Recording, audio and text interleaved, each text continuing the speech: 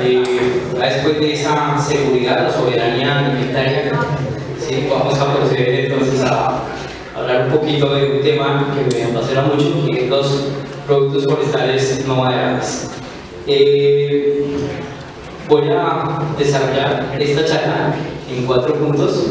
El primero, a retomar un poco la charla de esta mañana para no sufrir del síndrome de Adán, ¿sí? Está el doctor Forero, pero creo que hay que hacer un libro que se llame Combatiendo el, síndrome de ¿sí? recordando a los botánicos y sus aportes. ¿sí? Ojalá de pronto los servicios ecosistémicos, ¿no? Sería como eso. Bueno, el otro que es, ¿qué es eso de un producto forestal no maderable? ¿Cómo se, cómo se maneja? La importancia que tienen estos productos y un punto cuatro que lo he titulado hacia una agenda de los productos forestales no maderables, pero yo creo que es como una pauta para poder hacer política de productos forestales no maderables.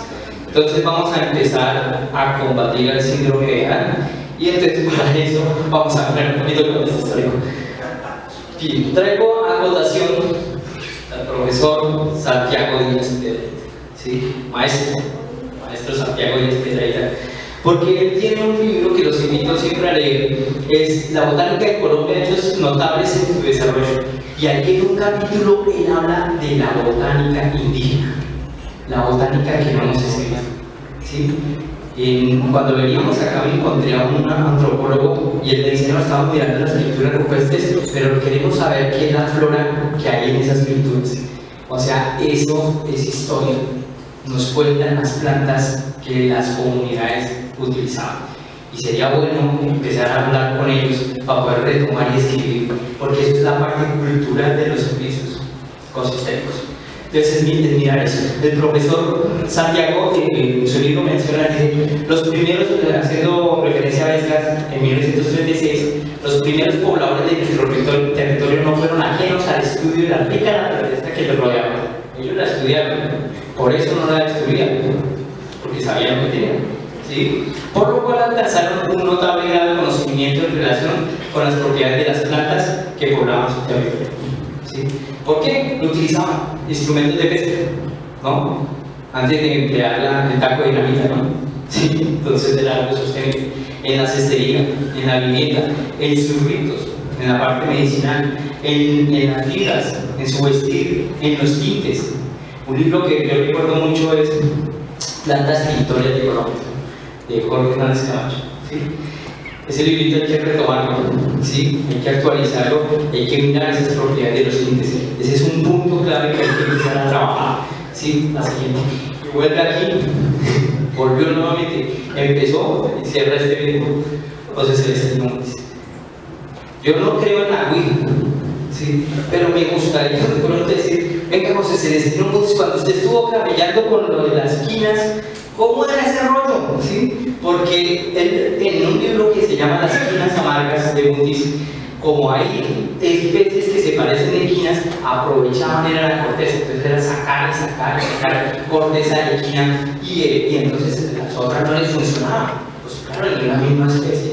¿sí? Y esos son problemas que se vuelven a que bueno, y ahora cómo respondemos con eso, esas exportaciones pues, que se hacían o ese recurso que se sacaba. Entonces, él hablaba pues de la quina, ¿cierto? Las aristologias, esta aristología, la que son poco los registros ahora, ¿no? Hace rato no se colecta esta especie, está como casi distinta, ya en un local, ¿sí? La zarzaparrilla, el índigo, ¿sí? Que ahí viene el indigófera de Victoria, el azul índigo, ¿sí? El azul índigo, un tinte que es la... Ahorita hay un tinte que se está moviendo mucho, ¿no? Que es el de Jenipa americano, el de wheat, ¿sí? Ahora agua ya incluso hay una patente de proceso de extracción hecho por una empresa que se llama Ecoflor. Y eso lo están trabajando actualmente. A los clientes es un potencial que hay que empezar a mirar. Martin tenía otros, sí, pero yo creo que les enseña aquí el profesor ¿verdad? Carl Marcus estuvo en 1820. El recorrido que hizo, ¿cierto? llegando hasta los raudales de Araraquara, ¿cierto? en 1820, él trabajó con un un solo, un solo que era Spix, Spix ellos se dividieron, Speck siguió, ¿sí? Martin llegó hasta la Aracuara y fue uno de los grandes colectores, muchas de esas especies que acabamos de, de gustar, ¿cierto? Entre esas está la siguiente, ¿sí? está el Nocaco Batagua, está el Uterbe, Maurilla, el Chiquichiqui, ¿cierto? Y ahorita vamos a hablar de esta especie, por ejemplo, súper el desmongus, el género desmongus, son de las palmas trepadoras, son palmas trepadoras. ¿Y por qué hago un llamado sobre estas palmas trepadoras? Vamos a ver ahorita más adelante qué. ¿Qué es ese un producto forestal no maderable? Bien, el concepto nace en esta publicación en el año 1989, ya como término, pero no nos olvidemos que eso hay un histórico ahí y que hay que empezar a escribir. Entonces, ese, ese término nace de varias, de, de confluencia de diferentes estudios en diferentes regiones o de diferentes áreas de conocimiento. Los que estudiaban la conservación estaban tratando de buscar cómo conservar los bosques sin deteriorarlos, sin tumbarlos y buscando entonces alternativas de estos otros productos distintos a la madera los economistas que veían decían, bueno, también como en esos medios de subsistencia ayudamos a aliviar la pobreza de la gente en las zonas rurales. ¿sí? Los antropólogos, que ellos databan, ¿sí? hay uno, eh, eh, claro que era etnolingüista, ¿no? Pero Koch ¿cierto? Que es un etnolingüista que documenta también en el río, en la parte del Baupés y el río Baupés, muchos de los usos dados por las, por las plantas. Entonces los antropólogos también eh, veían la importancia de estas, de, estas, de estas especies y desde el aspecto silvicultural, una nueva silvicultura, unos nuevos modelos de producción que tenemos que empezar a pensar y yo le añadiría, eh, el doctor Rodrigo decía, educación, ciencia y tecnología, la innovación. Innovar en esas cosas, desde la construcción también mm, de lo que nosotros tenemos. Entonces, la gente empieza a hablar de productos silvestres, productos naturales no maderables del bosque, productos de pasturas, maderas producidas de forma sostenible, productos aparentemente distintos de la manera industrial, una serie de definiciones, ¿cierto? Todas estas, ¿sí? Que se acuñaban en la, en la literatura, ¿sí? Siguiente, este es un referente del año 1993 en Colombia, el libro de González, y él hablaba acá de los productos naturales no maderables en Colombia. Es, una, es un, un ícono, ¿sí? porque ahí empieza a documentar también ese término y, empieza a hacer la suma, digamos, de todos estos, estos usos de, la, de, las plantas enfocadas dentro de los productos naturales no maderables. Otro término que se emplea a veces es productos vegetales no maderables. Ya digamos, en, en el 2003, Belcher hace esta publicación haciendo referencia a una aclaración de que no es un producto forestal no maderario y ahí empieza a desglosar todo, hace una muy buena compilación, ¿sí? y empieza a dar unos lineamientos que después se van a tomar, los retoman abajo para poder dar una dimensión latinoamericana. Bien, eh, eso va cogiendo pues un auge, ¿cierto? Ya se habla de esto a nivel mundial, de los productos forestales no maderables, se empieza a hacer aclaración sobre la semántica, ¿sí? Y se empiezan a dar, digamos, esas definiciones. Estas son algunas de las publicaciones que uno puede encontrar, ¿no? ¿Sí? No maderables de los Estados Unidos, de la India, ¿sí? Ecología sustentabilidad de los no maderables, ¿sí? O sea, es una literatura, eso es un término y es una dinámica que es a nivel mundial. Esta es la definición de la FAO, por las que más se, digamos, se, se utiliza actualmente. Son bienes de origen biológico distintos de la madera del bosque. Por eso hay que poner producto forestal no madera. El término forestal hace referencia al bosque, porque alguien puede decir producto no madera, pero puede ser un entero. ¿sí? Forestal porque haga referencia al bosque. Los productos forestales no maderables pueden recolectarse de forma silvestre o producirse en plantaciones forestales o sistemas agroforestales, acá donde hay empezar a innovar. Estos productos, en su gran mayoría de origen vegetal, son utilizados como alimento y aditivos alimentarios. Lo clave de esta definición de la FAO es que primero empieza a incluir los servicios ecosistémicos, que esa es otra parte, excluye las materias primas leñosas, ¿sí? e incluye productos derivados del bosque natural y de plantaciones. ¿Cómo se marca eso ahora? Este es el esquema del IPES, ¿sí? de la Plataforma Intergubernamental de Biodiversidad y Servicios Ecosistémicos. Entonces ellos en su plataforma, aquí hay un término que a mí me gusta mucho, los regalos de la naturaleza. Y si a uno le regalan, uno no tumba al que está regalando, ¿sí? lo cultiva. Los regalos de la naturaleza, me. Entonces acá es donde queda digamos, dentro del esquema de servicios ecosistémicos, sí quedan marcados los productos forestales no maderables. Entonces, ¿esto por qué hago relación con esta diapositiva? Porque hoy hemos hablado de diferentes temas. Esteban nos habló de la parte de carbono como un servicio, ¿cierto? El profesor hoy nos habló del ciclo hidrológico también, servicio, la regulación hídrica, ¿sí? Y acá estamos hablando acá, o no son rutas distintas. Estamos hablando de un discurso de los servicios ecosistémicos y cómo se mide esa diversidad dentro de esos servicios. ¿Cuál es la importancia de los productos forestales no maderables? Bien, esto también, no, aquí no van a salir los productos profesor, ¿no? Pero quiero ir contando cómo es para que vean que este es el nivel del, del, mundo, ¿no? Bien, ¿por qué son importantes los productos forestales no maderables? Se ha registrado que aportan entre un 7 y un 95% del ingreso anual de un hogar. Esto es una fotografía por la parte de bosque seco, como utilizan la tarea de la palma de, de vivo, ¿sí? Para techar. Estos techos van al estrato 15, ¿sí? mesa de yeguas, ¿sí? ¿ya? Son, eh, es donde se hacen todos los techos. ¿ya? Y eh, hemos documentado, por ejemplo, gente que esto es una familia, los que están, eh, estos dos, uno de aquí, son de una familia que cosechan esto. Y a veces los ingresos en esta familia eran hasta el 70% cosechando, o sea, depende de eso. Entonces, es el señor que se ha dado educación a mis hijos con esto. Esas son las becas las que no pueden cubrirse el pilo para. Regularmente proporcionan una red de seguridad, ¿sí? en la que los pobres pueden confiar cuando no logran los resultados esperados de estas actividades tales como la agricultura subsistencia o los cultivos comerciales como el café. ¿sí? Por eso diversificar es tan claro, ¿sí? tener una seguridad. A veces son un escalón que, lo lleva a una vida sin pobreza y jamás conduce al tratamiento de eso que esté cosechando nunca va a ser más pobre de lo que estaba antes. Cuanto mayor sea la cantidad de meses que se pueda comercializar un producto, más favorable será la actividad para los hogares.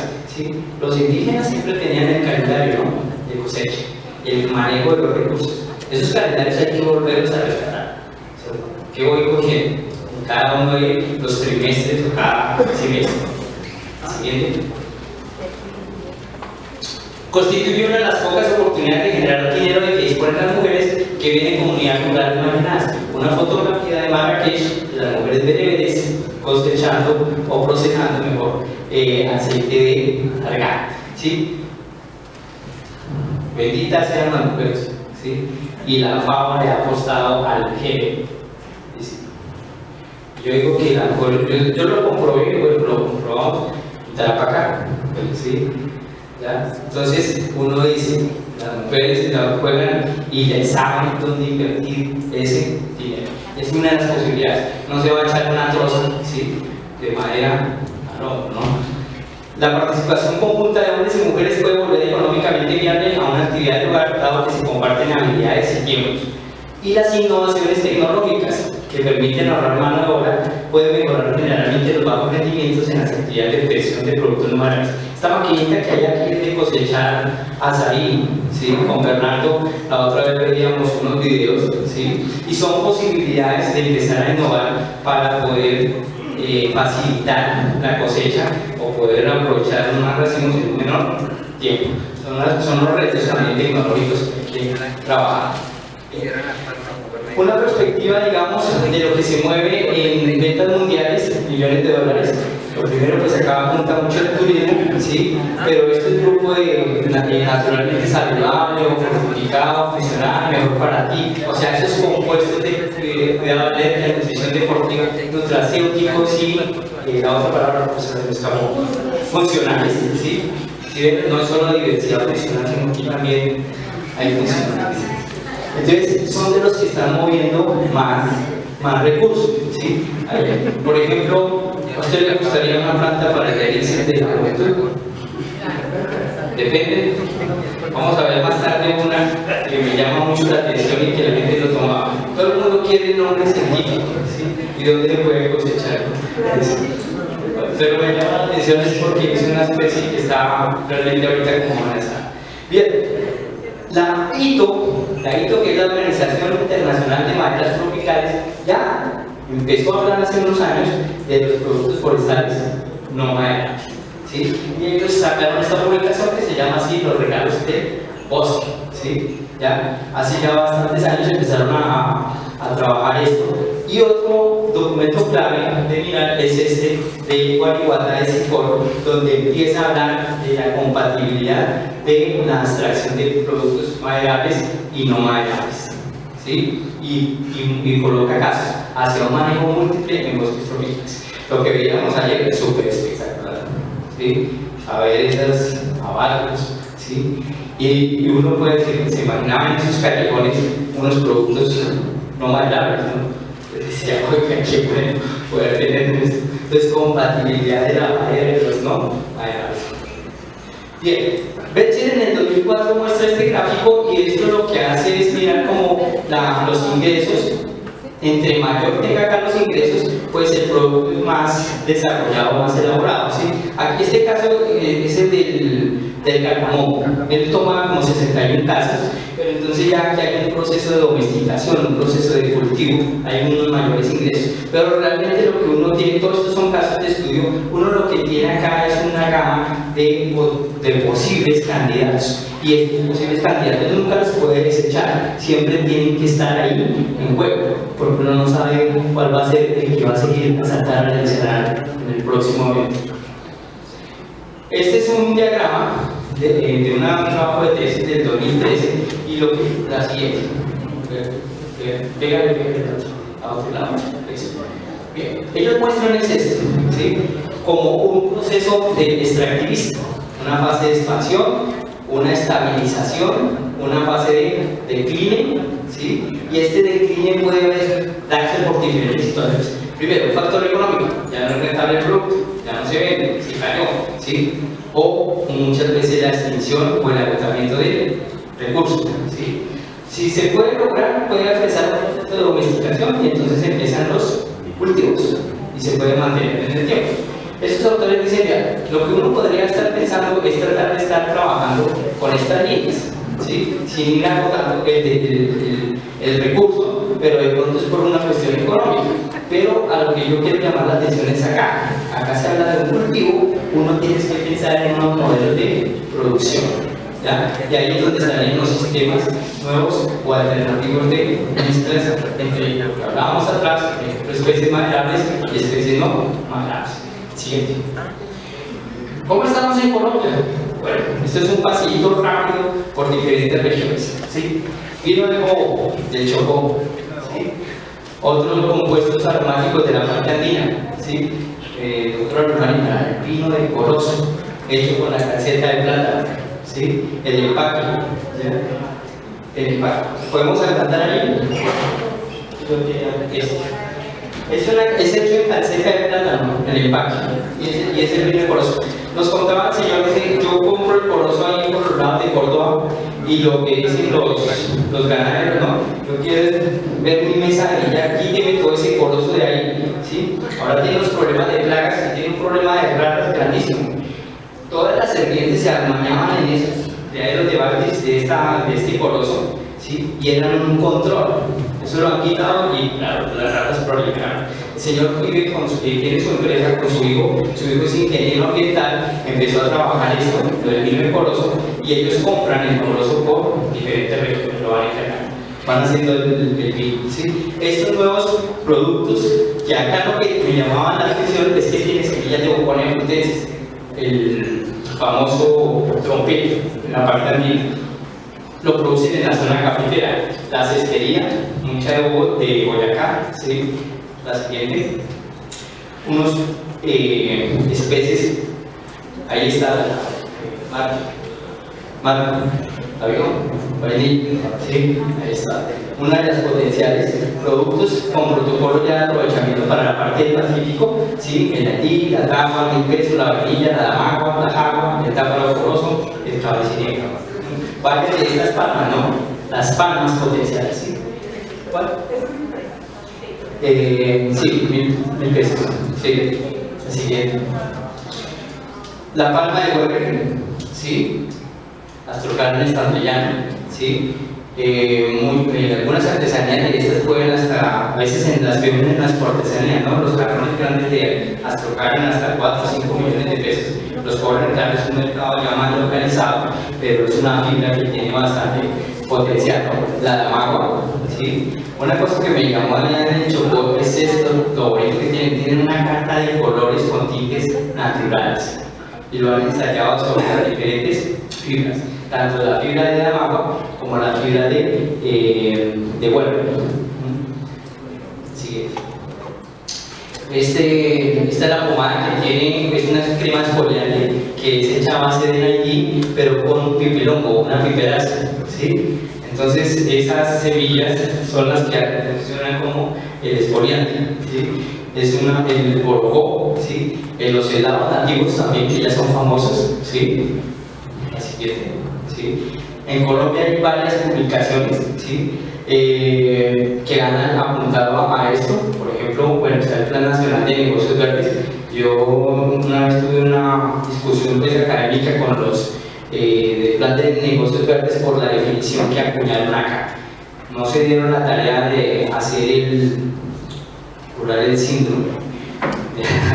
Entonces les quedó errada la, la definición. Y continuar con esa parte, ¿sí? los estudios, publicaciones del CINCHI, ¿cierto? Un libro referente de biocomercio sostenible, ¿sí? La siguiente, el libro de fibras, ya planes de manejo, cartillas de manejo, gracias al grupo de Palmas y la Universidad Nacional, un aporte importantísimo, ¿sí? Para el manejo de varios, de varios grupos de palmas, unas fibras, en el caso del filodendro, siguiente, y vamos a mirar este punto hacia la agenda de los productos forestales no Yo quiero ayer en mi tiempo. Bueno, aquí hay 10 puntos. La siguiente. Este artículo es una revisión de posicionando los productos forestales no maderables para un desarrollo y este artículo de Groot, que Esteban nos mostraba de Costanza, estaba Groot ahí de autor también, pero este me gusta también mucho porque él dice hay que empezar a cuantificar estos servicios también de los ecosistemas, pero no solo en la mirada que hacíamos hace un tiempo de los metros cúbicos de madera, ¿no? Por ejemplo, él dice, bonito cuantificar, ¿sí? ¿Cuántas kilocalorías me da una hectárea de tal bosque? Por ejemplo, ¿Cuántas kilocalorías me está dando? ¿Cuántos eh, metros cúbicos de agua está reteniendo? Empieza entonces a hacer una, una tabla de los servicios ecosistémicos y propone algunas cosas de medida. Y yo creo que ya se puede hacer, por ejemplo, en un morichal estimar una hectárea cuántas kilocalorías podría aportar, porque ya hay datos de eso. Esos son datos bonitos. Y empezar a mirar los bosques desde otra perspectiva. Esa es, es una cosa interesante. Son 10 puntos que hemos también colocado, digamos, en la, para la construcción de esta agenda. Ojalá sea en un futuro una construcción de una política eh, de productos no maderables. Primero, contar con el inventario de los productos forestales no maderables. Eso es el, el, panorama claro. Como la tienda, ¿no? ¿Qué es lo que tengo? ¿Qué es lo que tengo? ¿Sí? Y en cuánto, la abundancia. Empezar a mirar eso. ¿sí? Llevar unas estadísticas forestales. El ideal es como el ente encargado del sistema de información de estadísticas forestales. Una vez estuvimos hablando con ellos y entonces uno de los problemas eran las unidades de medio que tocamos. Dos, investigación sobre productos forestales no maderables, la ecología y los niveles de aprovechamiento. ¿sí? Hay artículos que hablan de, esta, de tener en cuenta estos procesos de sostenibilidad y tener en cuenta esos criterios ecológicos. Las unidades son claves. ¿sí? La madera ya tiene establecidas sus eh, medidas, si son metros cúbicos o las diferentes piezas con las que se trabaja. Es una troza de tanto o es un tablón de tanto, entonces ya tiene, tiene medidas, unas unidades establecidas. Cuando se habla de, de productos forestales no maderables, la cosa cambia, ¿cierto? Porque esto lo voy a medir en kilogramos, ¿cierto? Esto en unidades, son plantas totales para mover, las raíces lo miden en longitudes o se miden en kilogramos, las semillas, las yemas, las hojas o los frutos. Entonces hay diferentes unidades. Creo que la, la CDA, por ejemplo, los conos de acá, de, perdón, de Guainía, para el control se habla de ojotes, ¿no? Los ojotes se llaman esos conos de fibra chiqui no sé, perfecto de la CDA. Bien. Eh, entonces es importante conocer eso. Por ejemplo, la damagua, estos bolsos de damagua, los que lo compran, los diseñadores, lo compran son bultos, ellos hablan de bultos. El bulto consta de 32 sábanas. ¿Cómo así? Se, realizan, se realizan demandas de 9 bultos, o sea, que equivaldrían a 288 sábanas y esas sábanas son de 276 metros cuadrados de fibra. ¿ya? Esto hay que volverlo unidades, ¿no? Porque para poder hablar del mismo, una unidad de MKS, perdón, y Colombia suscribió el acuerdo también para unidades, ¿no? Hace unos años. Entonces, para el uso de este sistema de unidades. Por lo tanto, bulto corresponde a 32 sábanas y una sábana aproximadamente a 8,625 metros cuadrados. Eso es un problema en la comercialización. Por ejemplo, la palma, la palma sabana, palma marca, el, la, la dobla vende por manojos atados, ellos hablan de atados de 45 horas, en la costa lo venden, se cuantifica por jornada, ¿no? Se cuantifica por jornada. Entonces, hay un problema con las unidades, que eso lo hemos tratado de resolver. Hay un documentico donde hemos puesto en la tarea de hacer esa conversión al sistema de. Conocer sobre la especie de la cual voy a aprovechar, el monoica ¿sí? el caso del moriche, ¿no? No todos los moriches producen, entonces la relación uno uno que nos hablaban ayer en la, en la, estación, ¿sí? La especie es abundante o escasa, ¿sí? Eh, los crecimientos son rápidos o lentos, aquí está la ecología funcional. ¿Sí? Entonces mirar esos aspectos de la, de la especie. Hay que empezar a evaluar el impacto, por lo que esta diapositiva, por lo que hablamos aquí este es un estudio de, uno dice, retiro la hoja, eso no tiene impacto, no, sí tiene impacto. Este es un experimento bonito hecho con una palma cargadoras radicales en el cual hicieron diferentes tratamientos de cosecha de cantidad de hojas. Y este es el testigo. ¿Y que miraron? La acumulación de producción de frutos. Entonces miren cómo cambia a través del tiempo la producción de frutos. Claro, estoy retirando área foliar, entonces estoy perdiendo producción de frutos siguiente. Bien. Tercer punto. Incluir los productos forestales no maderables en la decisión de gestión de las tierras y el comercio.